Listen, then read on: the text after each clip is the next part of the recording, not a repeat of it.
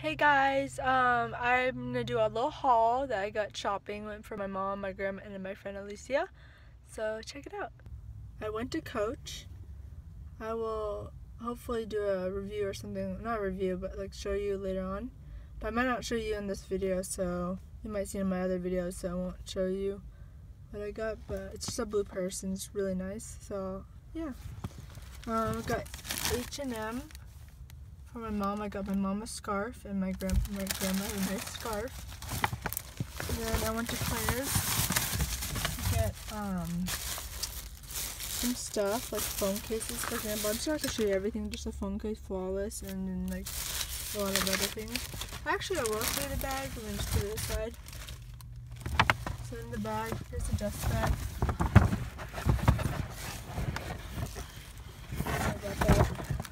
Dust bag comes with it. It's the bag. It's a really nice bag. Just comes with a strap. Sorry it's not the perfect thing, but yeah, this is it. Okay. It's a really short video, but let me go to show you what we got from Claire's. Sorry about that.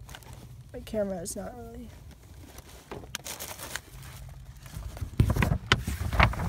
Here at Claire's, I got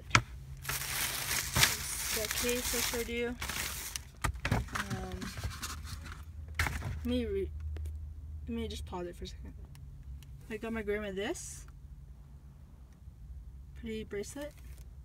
I got this puffball with like a USB charger.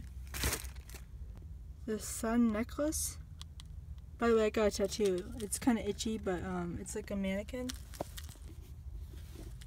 It's a mannequin. Yeah. Got this for my friend. It's best friends or sister thing.